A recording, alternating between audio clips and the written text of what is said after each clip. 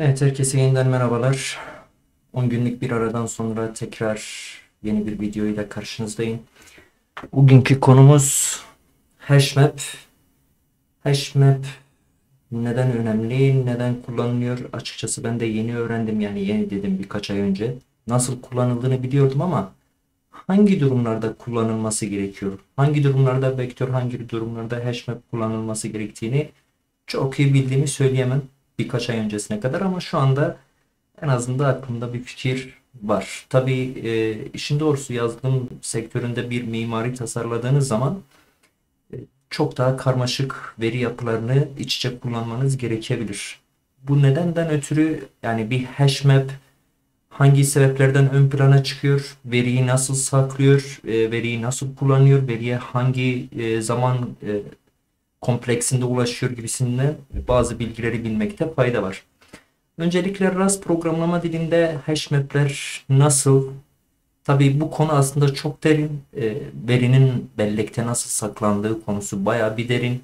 Hash dediğimiz olay bizim e, yani Türkçe çevirirsek eğer şifreleme, hash yapma olayı nasıl gerçekleşiyor? Map olayı nasıl gerçekleşiyor? Bu konular bir miktar e, karışık aslında. Ama e, burada mesela çok merak eden varsa Wikipedia'da bununla ilgili baya bir doküman var. Mesela veriler bazı programlama dillerinde veya bazı durumlarda e, linked list olarak kullanılabiliyor ya da bir array olarak kullanılabiliyor. Veriler array şeklinde de saklanabiliyor. Veriler efendim söyleyeyim e, allocate olayı dediğimiz şey nasıl yapılıyor? Bu konular baya bir derin aslında bilgisayar bilimi isteyen konular. Tabii e, Türkiye'de bu konularda sürekli işte ya bunu bilmesek de olur, şunu bilmesek de olur falan. Evet yani e, bir web sayfası yapıyorsanız bunların çoğuyla pek fazla bir işiniz olmaz. O yüzden Türkiye'de sadece web sayfası yapılıyor. Yani çok da karmaşık bir şey yapılmıyor. Veri tabanından veri çek, web sayfasında göster falan basit. Çok da karmaşık işleri yok. O yüzden dandik döndük işler dışında pek de orijinal işler çıkmıyor ki çıktığı zaman da dünya çapında aslında projeler gerçekleşiyor. Ama işte bunları bildikleri zaman gerçekleşiyor maalesef. Tabii Türkiye'de dediğim gibi bunlar çok önemsizmiş gibi ele alınıyor. Keşke vakti evvelinde üniversitelerde bize de bunlar hocalar tarafından öğretilseydi ama bu da öğretilmiyor. Ben tabii bunu e, araştırmadan evvel Türkçe kaynaklara da baktım. İngilizce kaynaklara da baktım.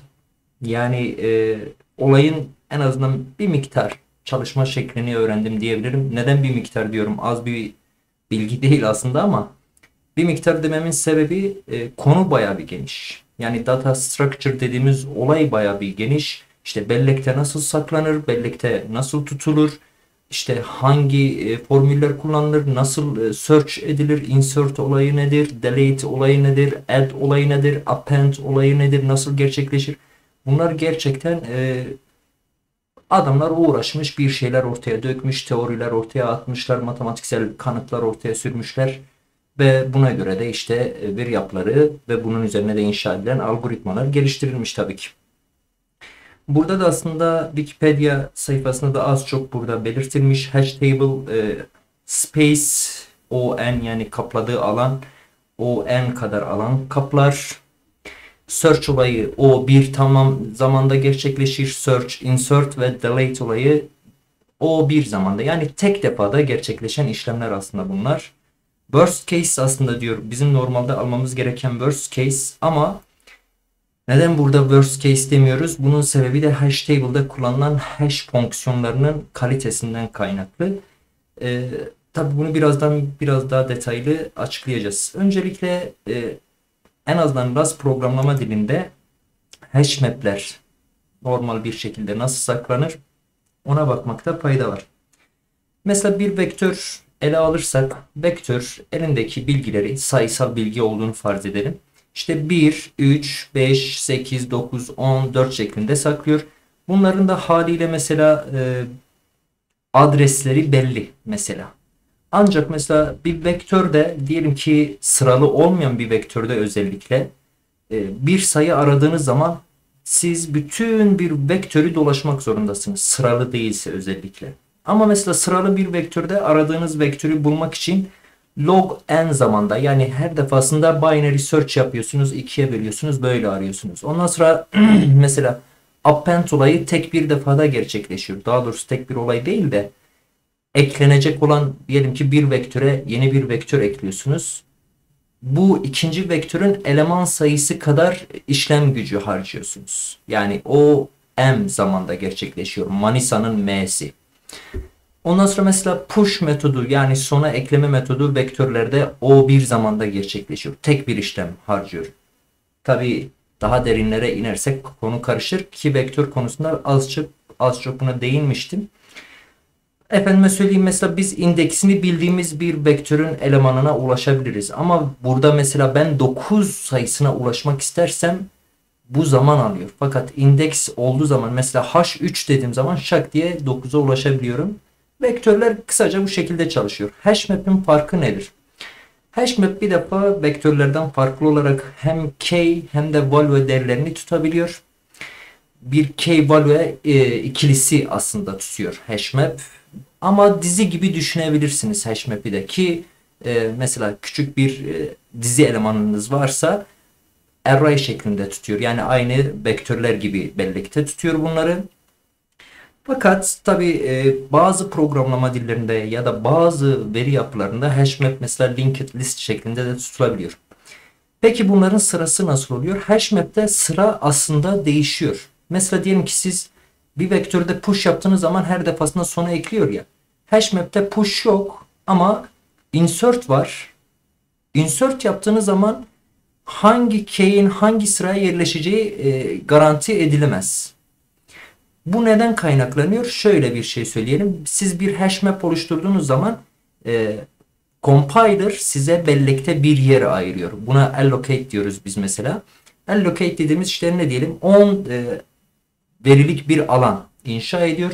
Siz bir key e, giriş yaptığınız zaman key value'ya insert ettiğiniz zaman orada bir hash fonksiyonu gerçekleşiyor. Bu hash fonksiyonu e, sizin girdiğiniz değerin bu 10 elemanlık alanda allocate edilen alanda hangi sıraya geleceğini tayin ediyor. Tabi her zaman için standart işte bu 2'ye gelir diye bir e, kural yok. Hash fonksiyonundan kaynaklı bir şekilde. Böyle bir kural yok. Bundan dolayı her defasında bu değer değişebiliyor. Peki hash fonksiyonunun hash map'in farkı e, nedir? Hash map Diyelim ki sizin elinizde bir eleman var şuradaki gibi. Siz mesela e, sallıyorum K4'ü arıyorsunuz. İndeks olarak değil. K4 olarak, valuesi olarak arıyorsunuz. Tek bir defada bunu elde edebiliyorsunuz. Search mesela o bir zamanda gerçekleşiyor. Time complexity dediğimiz olay o bir zamanda gerçekleşiyor. Aynı şey mesela insert için de gerçekleşiyor. Bunun sebebi Az önce dediğim sebepten kaynaklanıyor. Hash fonksiyonuyla bizim girdiğimiz key bu e, hashmap dizisinde buna bir yer tayin ediyor. Dolayısıyla hash ettiğimiz yani hashlediğimiz key bir şekilde dizinin hangi elemanında olduğu bilgisini de taşıyor. O sebepten dolayı mesela bir arama yaptığımız zaman işte bu K4 nerededir diye bir arama yaptığımız zaman şak diye hashmap'te bunu bulabiliyor. Tabi burada e, tek bir e, olay var. Hash fonksiyonu çalışıyor. Hash fonksiyonu da tabi biraz e, nedir? Şöyle söyleyeyim. Bir miktar azıcık e, zaman alır. Ama çok fazla bir zaman almıyor tabii ki. Peki neden burada mesela e, worst case'te o en zamanda demiş? O da hash fonksiyonundan kaynaklıdır. Mesela sallıyorum. Ben K4'ü eklerken K4 işte indeks numarası kaç olsun diyelim ki 3'ün 3 oldu. K5 de 3 olabilir. K6 da 3 olabilir. Hepsi de 3 olabilir. Bu durumda mesela worst case gerçekleşebilir. E, dolayısıyla biz e, mesela K6'yı arıyorum ama K6 bana 3 indeksini veriyor. Hash fonksiyonuyla beraber. 3 indeksini veriyor ama gidiyorum bakıyorum 3 indeksinde K4 var. Tekrar bakıyorum yanındakine. Orada da yine bu defa K5 var. Sonra bakıyorum K6 işte nedir mesela? İndeks 6'da ortaya çıkıyor. Ya da 5'te. Bu mesela işte e, hash fonksiyonunun türeteceği unique indeks numarasına bağlı olarak değişebiliyor. Tabi e, burada hash fonksiyonunun önemi de var dediğimiz gibi. Hash fonksiyonundan kaynaklı worst case matematiksel hani bilim insanları genelde matematiksel olarak konuştuklarından dolayı olabilir derler ama şu ana kadar gerçekleştiği pek de e, vaki değil. Yani bütün k'ler aynı indeks numarasını işaret edebilir edebilir denildiği için aslında worst case o en zamanda olur diye söyleniyor. Evet, hash fonksiyonu dedik. Mesela bakın burada e, göstermiş. Diyelim ki John Smith diye bir case girdiniz. İşte telefon numarasını da girdiniz. Bu da valuesi olsun. John Smith hash fonksiyonundan bir değer türetiliyor. Mesela ona bir e, iki indeksini veriyor. Daha sonra Lisa Smith mesela hash fonksiyonuna giriyor. O da bir indeksini veriyor. Mesela adresini veriyor daha doğrusu. Mesela işte Gidiyor gidiyor gidiyor sonra din ne oluyor işte 14. indekse geliyor falan filan. Dolayısıyla hash fonksiyonu bunların her birine her bir k'ye özel bir indeks oluşturuyor. Ama tabi bunların sıralaması her bir hash fonksiyonu çalıştığı zaman e, daha doğrusu k hash map çalıştığı zaman yeni bir allocate gerçekleştiği zaman bunların sırası değişiyor. Bunların sırası ne zaman değişir mesela? İlk oluşturulduğu zaman, initialize edildiği zaman e, bir sıralamaları baştan şak diye belirli oluyor. Ya da yeni bir reallocate ettiği zaman bunların sıralaması tekrar baştan düzenlenebilir. O yüzden mesela hashmap fonksiyonu kullandığınız zaman, veri yapısını kullandığınız zaman e, şunu aklınızda bulundurun. Hashmap kendisine verilen alanın dışına taştığı anda bütün verileri hash fonksiyonuna göre tekrar yeni bir sıralamaya koyar. Dolayısıyla bayağı bir e, orada bir zaman harcaması yapar. O yüzden mesela reallocate olayına pek fazla girmezseniz hashmap'te iyi olur. Nasıl girersiniz? Yeni eleman eklersiniz. Diyelim ki siz mesela burada e, hashmap'e 10 e, burada kaç mesela 7. 7 alanlık bir yer verdiniz bellekte allocate ettiniz. 8. elemanı eklediğiniz zaman e, bilgisayar bunu yeniden reallocate etmek zorunda kalıyor. Haliyle Bunlar e, indeksler neye göre oluşturulmuştu? Hash fonksiyonuna göre oluşturulmuştu. Dolayısıyla tutuyor bütün bu e, value'leri, key'leri, bu ikili e, verileri tekrar hash fonksiyonuyla yeni bir sıraya diziyor. Mesela şuraya getiriyor bu defa. İşte 8. eleman için burada yeni bir reallocate yapıyor. Hepsini tekrar hash fonksiyonuyla kopyalıyor. Tabi bu da zaman kaybı demek. O yüzden mesela dediğim gibi hashmap'te mümkün mertebe reallocate olayına yani çok fazla insert e, yapacaksanız eğer bir defa allocate yapın ikinci bir defa reallocate olayına girişmesin. Bunu da birazdan anlatacağız. Evet. Geçelim o zaman hashmap'e. Çünkü çok detaylı anlatırsam bu defa hem benim kafam karışıyor hem de sizin kafanız karışıyor. Hashmap nasıl kullanılıyor? Burada mesela gayet güzel bir örnek vermiş. İşte yeni bir hashmap oluşturduk ama hashmap'te k ve value aynı vektörlerdeki gibi bir defa oluşturulduğunda yani initialize edildiği zaman artık diğer elemanlar da aynı şekilde olacak. Mesela burada biz insert yaptığımız zaman bu bir k bu da mesela bir value. Haliyle bu da string, bu da string. Bundan sonra ekleyeceklerimiz de k value çiftleri de string string olmak zorunda. Ama tabi burada mesela daha initialize edilmediği için yani allocate edilmediği için e, herhangi bir sınırımız yok. Ama burada allocate yapılıyor. Artık diyor ki yani hashmap'in her bir elemanı e, işte string string veri e, ikilisi taşıyacak diyor ve bundan sonrakilerin de hepsinin e, string string ikilisi olması gerekiyor. Tabi az önce dediğim şeyden e, kaynaklı ilk önce ben bunu anlatayım. Bit capacity kullanmanızda fayda var. Hashmap'te neden e, fayda var? Şu sebepten ötürü. Reallocate etmemek için. Biz mesela diyelim ki bin elemanlı bir hashmap kullanacağız. Ama biz ne yapıyoruz? E, hiç bit capacity yapmıyoruz. Otomatikmen mesela e, muhtemelen 4 e, reallocate dediğimiz 4 eleman için yer ayırıyor bellekte. Biz 5. elemanı eklediğimiz zaman yeni bir reallocate yapıyor. Bu defa Hepsini yine fonksiyondan geçiriyor, hash'ten geçiriyor, yeni sıralar veriyor, kopyalama yapıyor bilmem ne. Ve yeni eleman eklediğimiz zaman tekrar. Yeni bir eleman eklediğimiz zaman tekrar. Daha doğrusu allocated'i alanı taşırdığımız zaman tekrar reallocate yapıyor ve dolayısıyla tekrar büyük bir işlem gerçekleşiyor.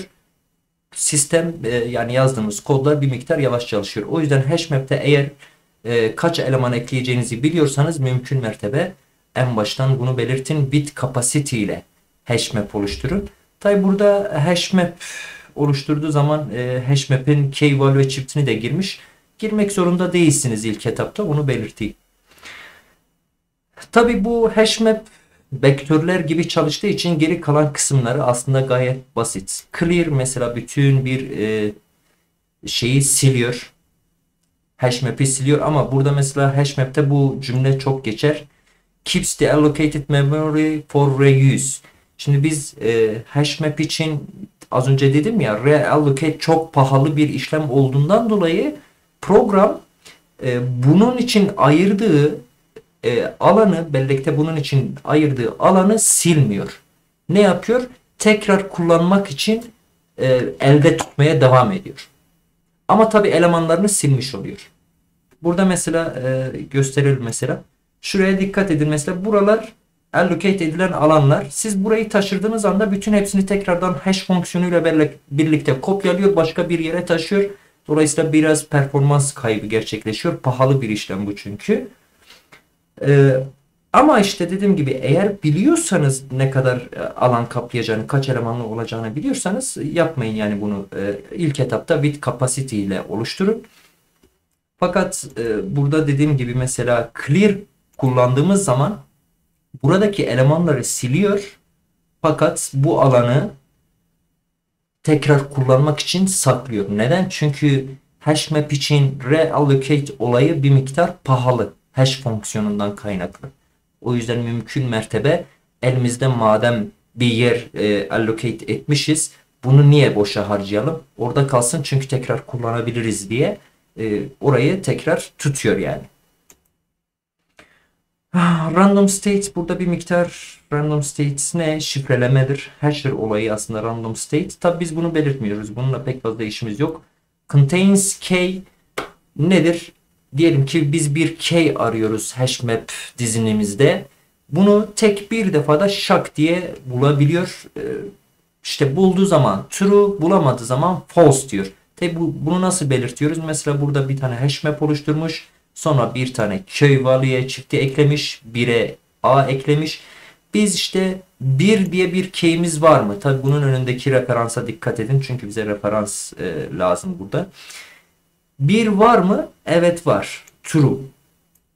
Ama niyeyse ikincisinde mesela false dedi. Bakalım açıklamasında ne diyor.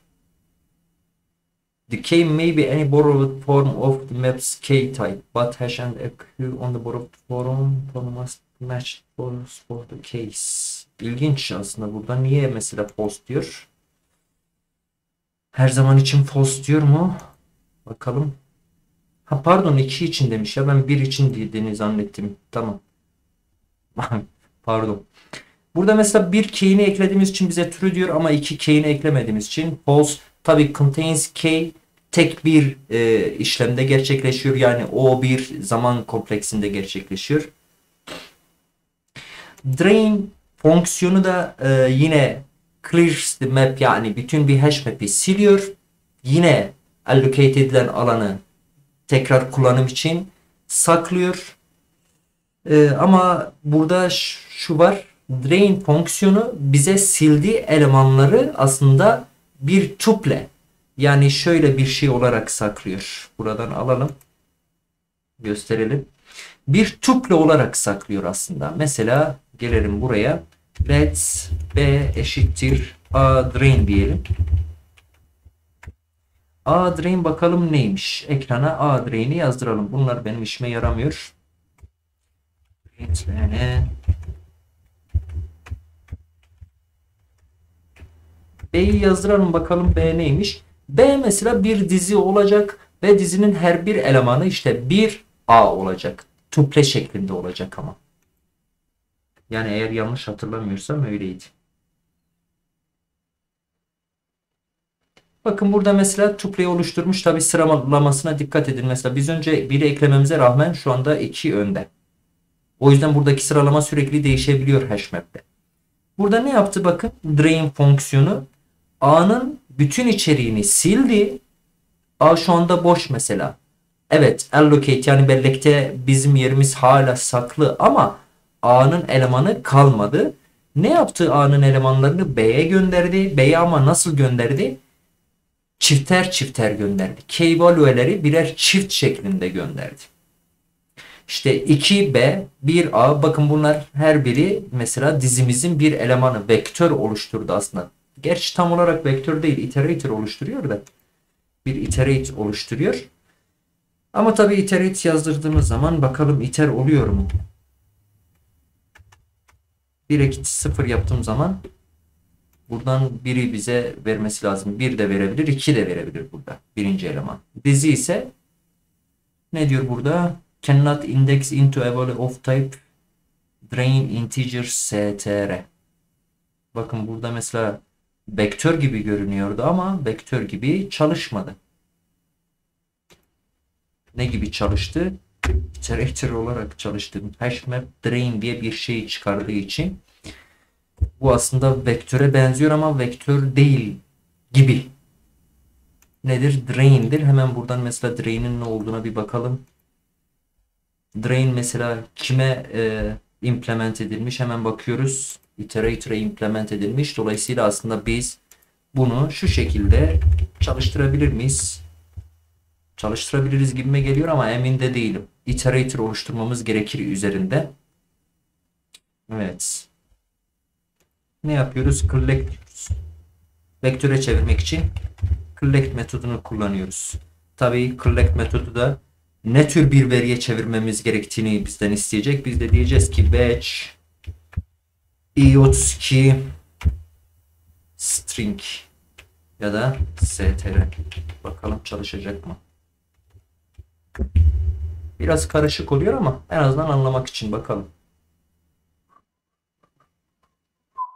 Hata verecek muhtemelen. Collect metodu. Aa çalıştı ya. Valla vektöre çevirmiş. Dedim muhakkak hata verir buradaki str'den dolayı bir şeyler ters gidebilir diye. Yok tahmin ettiğim gibi. Burada her defasında tabi drain'den kaynaklı. Neden bunu kullanabildim? Aslında drain fonksiyonu bir drain oluşturuyor. Bu da iterator'a e, implement edildiği için ben de burada iterator'dan bu bir iterator ben de iterator üzerinde collect metodunu kullandım. Collect metoduna işte her bir eleman için, her bir iter için işte i32 str tuplesi bana ver dedim. O da bana bunları verdi ve wedge vektör oluşturdu gibi. Başka ne var? Drain filter ise aynı şekilde çalışır. Ama işte mesela burada drain filter kullandığımız zaman K'in K ya da value'nin durumuna göre şuradaki closure bana true değerini veriyorsa bunu mesela alıyor. True değerini vermiyorsa karışmıyor. False değeri üretiyorsa karışmıyor. Ben bu e, drain filter konusunu vektörlerde anlatmıştım. Eğer daha derine inmek isterseniz oradan bakabilirsiniz. Entry fonksiyonu var. Burada biraz e, aslında hashmap'te kullanılan bir fonksiyon. Hashmap'te şöyle söyleyeyim. K value çifti her zaman aynıdır. Bir örnek buradan gösterelim. Letters demiş ama ben letters kullanmayı sevmiyorum. Atters'i de kullanmayı sevmiyorum. Mesela hash diyelim. H olsun. H insert k'imiz mesela ne olsun? 1 olsun. Value'miz ne olsun? A olsun. Geliyorum tekrar buraya. H insert işte 2'ye ya da tekrar 1'e B olsun. Mesela burada bana vereceği eleman şu. 1B. Neden? Çünkü 1'e karşılık yani hashmap'te k sadece bir tane olabilir. Hepsi unique'tir yani k'ler. Value'ler aynı olabilir. Yani bu ikinciler bir e, aynı olabilir. Mesela bu da a olabilirdi. Mesela burası 2, burası a olabilirdi. Mesela böyle olduğunda işte 1a, 2a olacaktı. Ama mesela ben burayı 1, burayı B yaptığım zaman hashmap'te k'ler unique olduğu için bu birin üstüne yazıyor. Bu birin üzerine yazdığı için son olan e, hashmap, insert edilen hashmap hangisi? 1 ile B'dir. Value'si B'dir. Dolayısıyla bizim hash sadece 1 B'ye sahiptir aslında. Tek bir K value çiftimiz var. Buradan da görelim. 1B. Ama mesela entry nasıl oluyor? Entry şöyle oluyor. Entry diyelim ki 1B dediğim zaman birin olup olmadığına bakıyor. Eğer bir varsa karışmıyor. Tabi burada entry'nin ne ürettiği de önemli. Entry diye bir değer üretiyor mesela entry metodu. Bir şey ya vardır ya da yoktur gibisinden ama biraz karışık bir konu. Çok da detaya inmek istemiyorum. Diyelim ki entry varsa karışmıyor. Hiçbir şey yapmıyor. Ama mesela burada ne yapmış mesela? Or inserts 0. Yani eğer varsa ch yap yoksa e, yeni bir tane oluştur ve 0'ı ekle gibisinden. Bir deneyelim mesela burada. Entry b diyelim. 1b diyelim. Bakalım ne oluyor. Oops. Split one arguments. Pardon. Ben yanlış kullanmışım. Entry ch. Entry 1 demem lazım. Buraya sadece 1 yazıyorum. Ama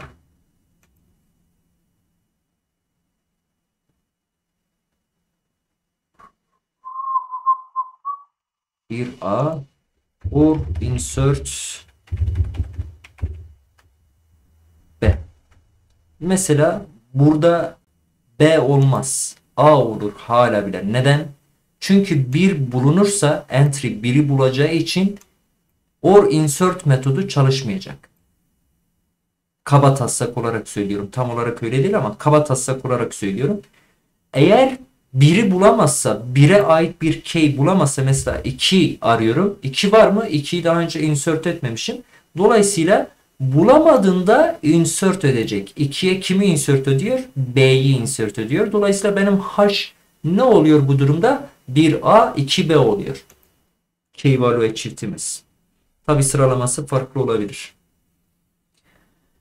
Sıralamasının farklı olması da dediğim gibi allocate edilen e, tablonun uzunluğuna, e, kapasitesine, e, eleman sayısına, hash fonksiyonuna göre e, dizayn edildiği için orada da bir de random state denilen bir olay var. Random e, bir hasher kullanılıyor. O yüzden e, sıralama değişebiliyor. Get metodu eğer varsa bir tane mesela get 2 varsa sum value değerini veriyor. Yoksa e, mesela buraya yazalım hatta daha güzel olur.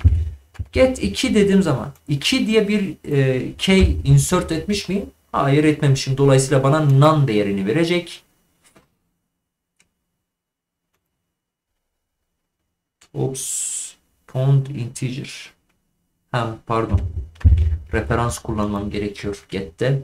Bunun sebebi de aslında HashMap'in yine teknik kısmında value çifti ya da key çifti referanslar üzerinden gerçekleşiyor. Ama tam olarak o konuya hakim olmadığım için şimdilik e, açıkçası anlatmayacağım. Yani tam olarak neyin referansını kim, nasıl bir referans tutuyor o konuya çok derin bir şekilde hakim olmadığından dolayı o kısmı şimdilik es geçiyorum ama sadece bilmeniz gereken şey get'e siz e, key'in referansını göndermeniz gerekiyor. Yani önünde referans işareti olsun yeterli. Evet dediğim gibi eğer key varsa get'te belirttiğimiz key varsa sum olarak veriyor. Sum a demesi lazım mesela burada. Yoksa none değerini veriyor. K get K value. Burada farklı olarak hem k'yi hem de value'yi veriyor. Mesela biz burada get dediğimiz zaman bize işte 1'e ait value'yi veriyor ama get k value dediğiniz zaman hem value'yi hem de k'yi veriyor. Gayet basit aslında zaten kelime anlamı itibariyle de arada bir fark yok. Tabi yine sum şeklinde veriyor çünkü olmama ihtimali de var. Hasher olayı var. Hasher'ı siz kendiniz de belirtiyorsunuz. Burada yani hangi hash e, fonksiyonu kullanılır siz bunu kendiniz de belirtebilirsiniz. Tabi random state ile yeni kendiniz bilmiyorsanız random state snip dediğiniz zaman size rastgele bir tane hash fonksiyonu türetiyor. Get mut returns a mutable reference to the value corresponding to the key. Key insert a. Mesela buradaki fonksiyonu hemen direkt kendimiz çalıştıralım. Burada nasıl çalışıyor? Mesela bir k'ye a value'si eklemişiz hashmap'te.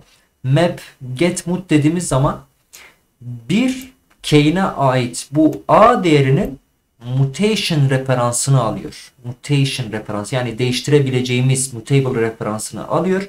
Dolayısıyla biz referans edilen o değer ne olacak? Burada if let sum x dedik. Bu x olacak. Ama x nedir aslında? x bir referanstır. Yani kendisi bir değer değil, bir referans değeridir. Dolayısıyla biz referansın kendisini değil, referansın point ettiği yerin değerini değiştirmek istediğimiz zaman da pointer kullanıyoruz. Yani şu işareti kullanıyoruz. Ne yaptı mesela? Bir k'ine ait değer a idi.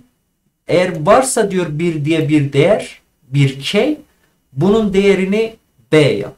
Dolayısıyla burada mesela e, map'i yazdırdığınız zaman bir a değil bir b yazmış olacak. Insert fonksiyonu zaten bildiğimiz e, gibi hash map'te e, yeni bir key value çifti ekliyorsunuz. Ama tabi burada yine bilmeniz gereken şey dediğim gibi key e, unique'tir. Yani bir hash map'te bir key bir defa girilebilir. Ama value çiftleri istediğiniz kadar value aynı olabilir. Şöyle. Mesela bir A diyebilirsiniz. 2 de A olabilir. 3'te A olabilir. Hepsinin value'si A olabilir. Aynı olabilir. Ama mesela şunu yaptığımız zaman insert 1A 1B yaptığımız zaman şunu siler üstüne B'yi yazar. Yani bu konuya e, dikkat edin. Bunu bilmenizde fayda var. Hashmap'in key'leri unique'tir. Value'leri değildir.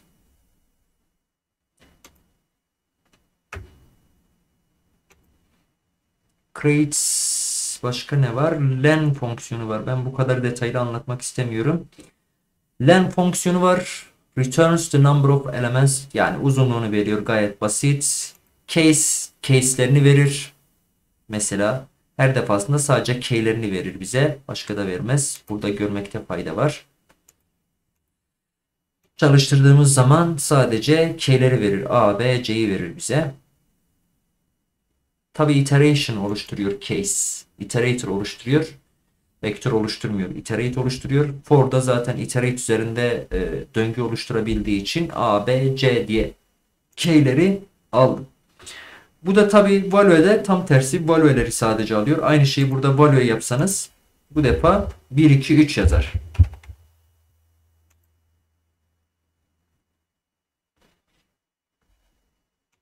1 2 3 derken sıralaması her zaman değişiyor. Onu aklınızda tutun yani. Remove remove dediğimiz zaman at the key if the key was previously in the map. The key may be any form of the landscape.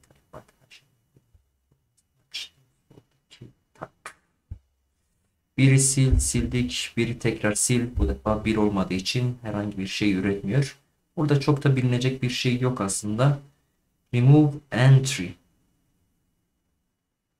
Remove entry, entry ile aynı mantıkta çalışıyor olması lazım. Remove işte belli bir key varsa onu sil anlamında. Remove entry sil veya şöyle yap gibisinden bir iş yapıyor. Bakalım neler var. Removes a key from the map returning stored key and below if the key was previously on the map. Aslında çok da bir fark yok. Key çiftini veriyor silindiği zaman başka da yok. Remove dediğimiz zaman remove key çiftini değil sadece value'yi veriyor. Ama zaten bana pek de lazım olmuyor. Size de çok fazla lazım olmaz ama yine ne olur ne olmaz. Mesela remove yaptığınız zaman neyi remove ettiğini size söyler. En azından remove bu şekilde. Ama sadece value'sini size söyler. Remove entry hem value'sini hem de e, key'ini size söyler. Diğerleri diğerleri çok da detaya inmeyelim. Bence bu kadarlık yeter. İter, iter mut. Vay, itere de Gerçi gayet normal yani iter, iterator'a implement edilmeyen herhangi bir veri yapısı yok. Ki bu Rust programlama dilinde gerçekten benim çok hoşuma gidiyor. Her şey iterator'a implement edilmiş.